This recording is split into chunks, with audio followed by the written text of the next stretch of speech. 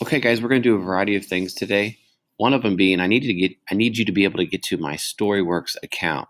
So what I want you to be able to do, and if this doesn't end up working, that's okay. I still have the magazines and I will put it on Google Classroom so you'll have everything you need. But one thing I want you to do is I want you to go to this right here, storyworks.scholastic.com. Now, when you do, ignore all this, but when you do, you will go to, um, it'll say teacher sign in or student sign in. I want you to click on where it says student sign in. It should be over here somewhere. I'm already signed in as a teacher, so that's why you're not seeing it. When you click student sign in, it's going to ask you a couple things, and one of them being to put in a password. So the password is about as simple as I can get it. It's right here, Mr. Perkins. Okay? So type in that password. They might ask you a couple more questions. And then once you do, you type in Mr. Perkins as your password. Then you will be able to come down here and explore this issue. Now, here's the story I want. We've already read the Great Halifax Explosion, but today what I want to look at is Invasion of the Jellyfish, because we're going to do some informative stuff here. And this is a fantastic story. It's extremely interesting, and it's one of those stories where it gives you information that you're going to want to share with people just because it's interesting. Um, now, here are your options over here. Once you go down Invasion of the Jellyfish, I want you to read and listen to it. So you'll need your headphones because you're going to listen to it at the same time. Um, and you can view the vocabulary slideshow if you would like. There are, are spelling. There are actually some of our spelling words this week. But read and listen to Invasion of the Jellyfish. Now, here's why we're doing it.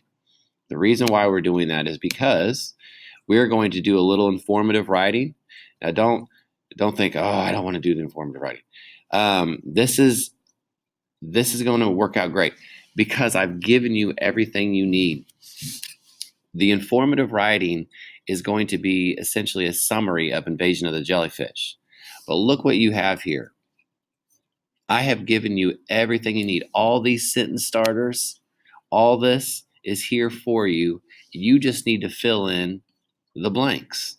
Now, look, they give you all the right questions to answer. So you can fill in these blanks here and here. They tell you where, where to put the period right there. They tell you everything. You just have to fill in the blanks. So this becomes an informative piece of writing. But you got to follow these questions so you can fill in these blanks. Now remember, they've given you all the sentence starters you need. You have to use those. Um, and they tell you where to put the periods. You just have to find the answers to these guides right here. They got one, two, three, four. They number them for you. Okay. So make sure we're using that.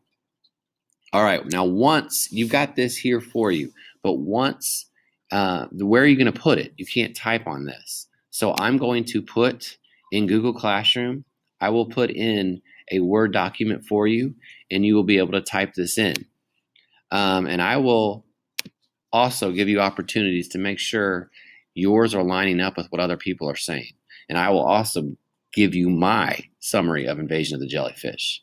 So remember, to recap, we're going to go to Invasion of the Jellyfish. And the way you do that is you go to storyworks.scholastic.com and you go to, click on student, type in this password, Mr. Perkins, go down, read and listen, and then we're going to focus on this. I'm going to give you this.